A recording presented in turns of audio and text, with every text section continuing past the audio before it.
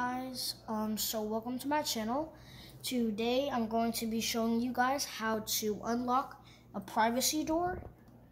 Here as you can see it's got a very small hole right here.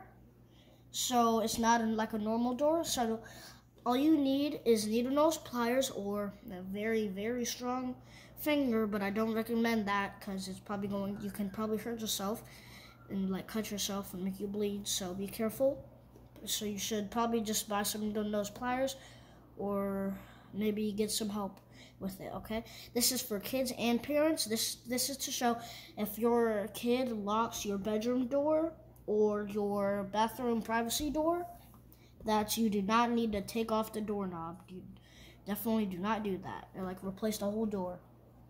So all you need is this and you're gonna have to you have to put the needle nose pliers like right through a little bend it like the on the um put it on the paper clip and then you bend it to make it a little a little loop. Hopefully you guys can see that a little bit.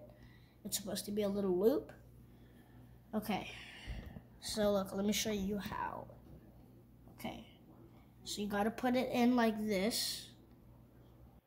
Make sure it's on like like this.